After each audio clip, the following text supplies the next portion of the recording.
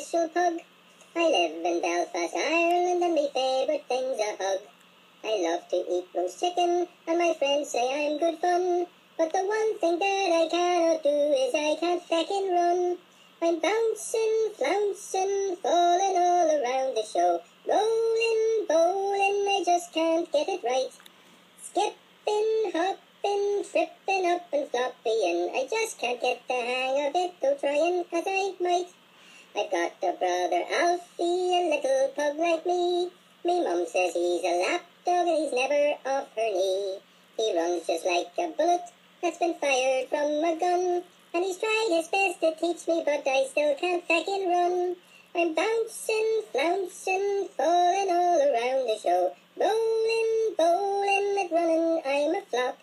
I've tried my best, I never rest to run a mile's me final quest. But once I do get going, then I cannot feckin' stop. I've another sister, Lucy, a laid-back dog is she.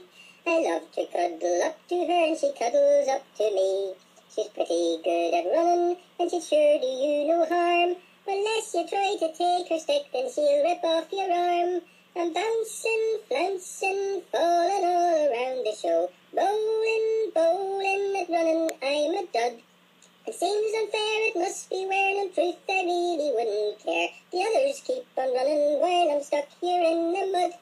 Now me final sister's Layla, a pedigree she. She won a puppy training prize in 2003. But she can run like Billy O, flies up and down the hill.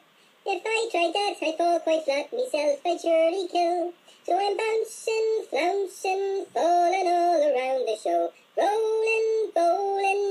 I just give up. It's not for me, it's plain to see a runner I will never be. So I think I'll just accept me lot and be a walking pup. There's a moral to this story, for happy still am I. Just because I cannot run, no reason for to cry. I love me life, I love me house, and I love me family. And the thing that makes it all